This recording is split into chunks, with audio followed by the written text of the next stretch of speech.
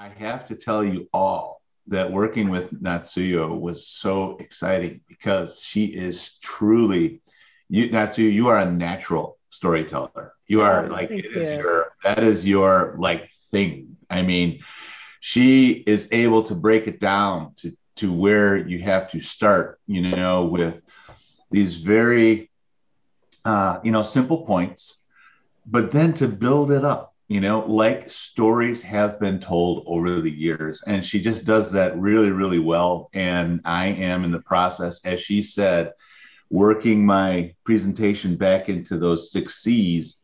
And uh, it is, it's amazing. It, it will turn any presentation that you have to do.